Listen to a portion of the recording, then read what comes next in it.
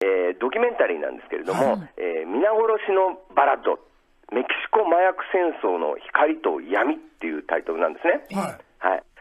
で、この映画のその皆殺しのバラッドっていうのはどんな音楽かちょっと聞いてほしいんで、ちょっとかけてください。はい。楽しいでしょ？はいはい。アミーゴって感じでしょ？あそうですね。ご陽気パで。レードでも始まるのかなでもこれね歌詞はね、はいどういうことを歌ってるかっていうと、あの、俺は片手にライフル持って、肩にはバズーカ背負って、邪魔する奴の首をバンバンちょん切ってやるって歌なんですよ。えこの曲調で？このリズムね。このリズムで、この陽気な感じで、歌詞の内容は、てめえら皆殺しだって歌ってるんですよ。で、こういう歌がですね、ナルコ・コリードって言われてる歌で、あの、メキシコ系のアメリカ人の人とか、まあ、メキシコで今流行ってる歌なんですよ。で、ナルコ・コリードの、あの、まあ、コリードってのは歌ですけど、ナルコっていうのは、あの、まあ、女の子の名前みたいですけど、これはね、あの、麻薬って意味なんですよ。麻薬？うん。で麻薬の歌っていう歌。がナルコ・コリードなんですけど、で今その、メキシコでは大変な麻薬戦争が続いてるんですね。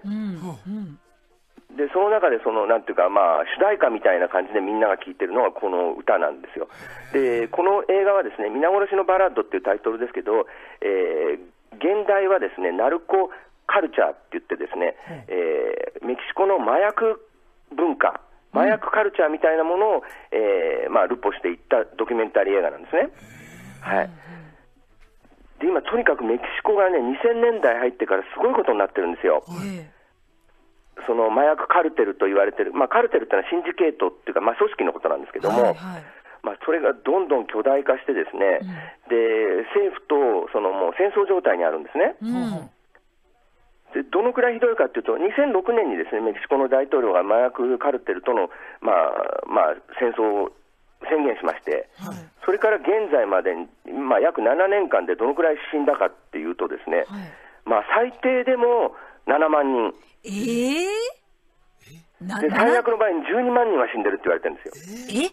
え？えだって特に麻薬戦争って言っても海外と戦争してるわけでもないのに、国内ですよ。ね国内で？え？えで、まあ、あの、行方不明がまた3万人ぐらいいるんですけど、ええそんなにですか？どうしてそうなってるかっていうと、その、まずすごく麻薬カルテルが大金持ちなんですよ。ほうあの、メキシコってあの、石油をですね、輸出してるんですね。石油がさん、あの、まあ、出てくるんで、はい。で、それの利益と、そのメキシコにいるその麻薬カルテルの利益っていうのは同じぐらいって言われてるんですよ。あそんな国家予算的なぐらい、は国家予算の石石油の売り上げと同じぐらい麻薬で儲けてるんですよ。だからそうなると国家予算並みだから、その軍事組織としても国家国家並みなんですよ、国軍並みの軍隊を持ってるんですよ。うん。で、それだけだったらいいんですけど、要するにただの、えへなんていうか、まあ、ヤクザがね、ギャングが銃を持ってるっていうのじゃなくて、でその麻薬カルテルの持っている軍隊っていうのは本物の軍人なんですよ。ほう。え正規の軍あの人本物のメキシコ軍の軍人たちが、そっちの方が儲かるからって言って、麻薬カルテルの方に入っちゃってるんですよ。え？本物の特殊部隊とか、そんなやつらなんですよ、みんな。え？プロなんですよ、完全な。えじゃあ争ってても元同僚みたいなことになったり？そう、元同僚ですよね。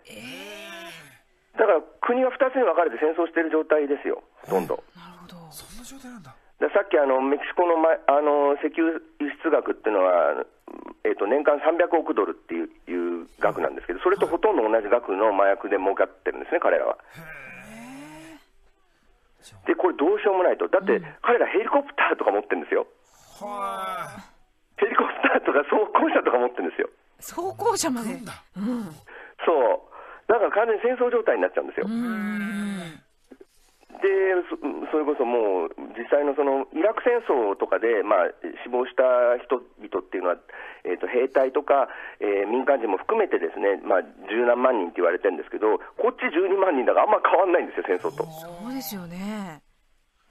大変な事態になってるんですけど、えーこれがまたね、その非常にそのギャングっていうと、まあ、非常になんていうか、原始的な感じをね、日本の感じだと思うと思うんですけど、ものすごく近代化されてて、えー効率のいい企業みたいになってるんですね、メキシコの麻薬カルテルっていうのは。で例えばですけど、えーと、一番大きい組織でですねシナロアカルテルっていうのがあるんですよ。はいそこのボスはボスって言わないで CEO って言われてるんですよ。会社だ。CEO。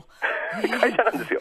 で、チャポ・グスマンっていう男なんですけど、彼は、その、アメリカの経済誌のフォーブスの世界大富豪ランキングに何度も登場してるんです。思いっきり表の世界みたいなところに出てきちゃってるんですね。表の世界に出ちゃってるんです。で、彼らも、その麻薬もありありとあらゆる麻薬を売ってるんですね。ヘロインから、その、えー、まあ、コカインから、その、マリファナから、覚醒剤も売ってて、特に覚醒剤とかはアメリカに入ってくるのはほとんど、あの、メキシコで作られてるんですけど、クリスタルって言うんですね、覚醒剤のことを、あの、なんていうかスラングでね。だ彼はクリスタルキングって言われてるんですよ。大都会。やめてちょうだいって感じですけど。ああってやつ、パッて歌うとまずいんですが。本当にこれそうなんですよ。で、あまりにもお金があるんで、そのお金をその、要するにまあ資金洗浄したり、その運営したりするのに、国際的なその金融のプロを使ってるんですよ。投資とかもしてて。うん、これと戦って勝てるかって話ですよね。確かに。で、油田とかも乗っ取っちゃってるんですよ。え？油田の地域を全部押さえちゃえば、その地域は警察も軍隊も入れないわけだから、彼らのものですからね。いやー、でもこれ、圧倒的にね、悪じゃないですか。これ、政府とかその市民とかが、これを潰そうとは動きますよね、当然ね。普通の国民とか立ち上がったりしてますけど、はい、あのこの間、だから43人のあの学生が、こういったもうひどいことに対して、そのまあ異議を唱えて、そのまあ首都に行って、えデモをしようとしたら全員捕まって殺されて、死体までバラバラにされて、粉砕されましたよね。そうそうそう。あった、あれですよね。でそうしかもそれを手引きあのカルテルに手引きしたのが、その地方の政治家だったりするんですよね。完全にもう、もう腐敗しきってるんですよ。いや怖いことになってますね。まあ、ものすごいことになってるんですけど、まあ、これをですね取材していくんですね、この、あのえー、皆殺しのバラットっていうのは。ただ、この映画のこのドキュメンタリーのポイントっていうのは、まあ、そのメキシコ麻薬戦争を、まあ、正面から描くっていうよりは、その前にあるカルチャー、文化なんですね。で、このナルコなんていうか、カルチャーの中には映画があって、たくさんその、えー、麻薬カルテルの人たちを正義の味方として描いた映画がたくさん作られてるんですよ。要するに彼らは貧しいとこから立ち上がって、その、えー、なんていうか、えー、地元の人を守るために、えー、悪い警察と戦ってるみたいな映画作ってるんですよ、いっぱい。自分たちの都合のいいような。だフォークヒーローと言われてるものになってるんですね。でも日本も昔はその、いわゆる人気映画ってそうでしたからね。ああ、そうか。そうだ。そう、そういう人たちをいい人として描くっていうのがありましたが、どこの国にもあるんですが、えー、で、そういうのの主題歌みたいなものが、そのナルココリードって言われてるその歌なんですよ。で、これがすごく面白いのは、僕今、アメリカに住んでるんですけど、はい、アメリカ、カリフォルニアって僕が住んでるあたりでは、そのラジオで FM 局っていうのは、えー、メキシコ系の人のためのスペイン語系 FM 局っていうのが5、6局あるんですね。はい、でそういうところでずっとこれがかかってたらしいんですよ、ナルココリードが。うんうん、要するにライフルとバズーカで皆殺しって歌がかかってたらしいんですけども、アメリカのそういった放送倫理規定っていうのはスペイン語引っかからないんですよ。だから、ギャングスタラップっていう非常にその、まあ、危険なね、えー、要するにあのアメリカのそのアフリカ系アメリカ人のそのなんていうかギャングのカルチャーを歌った歌ってのは昔からあったんですけども、それは結構歌詞が引っかかってラジオでそのまま放送できないんですよ。うんうんうん、P が入ったりするんですけど、ただスペイン語の方はチェックが入らないんでな垂れ流し状態なんですよ。アメリカでは。皆さん知らずにあご陽気な曲だなと思って聞いてたんですか？陽気な曲だなと思ったり、そのメキシコ料理屋行って飯食いながらかかってたりするのは そういう歌詞だったりするんですよ。えー そうでもないんですよ。で、アメリカって昔、あの、ゴア副大統領の奥さんが、すごくあの CD のあのなん歌詞を規制してですね、歌詞に非常に問題のある歌詞がある場合とかって、あのスーパーマーケットとかでは売ってはいけないんですね、CD を。子供が買うとまずいからってことで。非常にわいせつだったり、暴力的だったりすると、えー、チェック入るんですけど、スペイン語の歌は引っかからないんで、スーパーでこういう CD が売ってるんですよ。で、それであまりにも巨大なものになって、アメリカ人のですね、アメリカの人のもうもうすぐですけども、大体30%近くがメキシコ人になるって言われてるんですね、もうすぐ。メキシコ系の人になるって言われてるんですよ。だから人口が非常に多いんですが、その中で、えーこういう歌を歌ってると、ものすごく儲かるわけですよね。あ、なるほど。だからアメリカに住んでいるそのメキシコ系のアメリカ人の間で、このナルココリードをう作って歌うっていうのが今、流行ってるんですよ。ええこんなね。でさっきかかかけたその、えー要するにバズーカ持ってぶち殺せって歌を歌ってる人はですね、うんあのこの映画の中で、まあ、あの主役のように出てくるんですけど、エドガー・キンテロ君っていう人でですね、この人自身はカリフォルニアのすごく平和なところの中産階級みたいなところに生まれてるんですよ。家も出てくるんですけど、普通のいい家なんですよ。はい。へえ、あれ？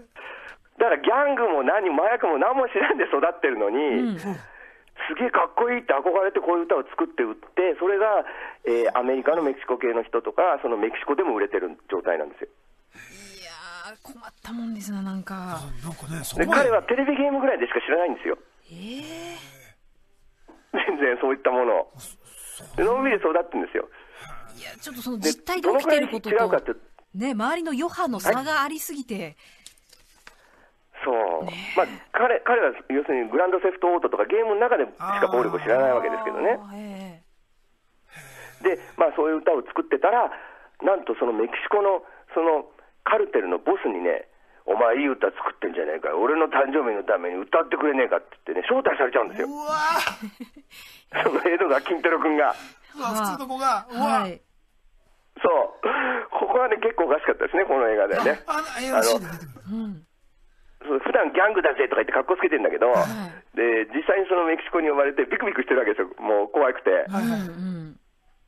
で一応、格好つけて銃とか撃つんですけど、はい全く当たらない、は撃ったことないんだ、この人。そういうとこおかしかったですけどね。いやーでももうむちゃくちゃな無法状態になってるんあ。ですね。ね、大変なことになってますね、もうメキシコの方はね。でもなんまあ、だってでその、ほとんど起訴されないんですよ。あ、そうです殺か。人があってもね、もう国にされてんだろう。で、2000年ぐらいから急にそんなに取引が。そうですね。だからやっぱりおアメリカからお金が入って、ほとんどの売り上げはアメリカからなんですよ。へえ、そうなんだ。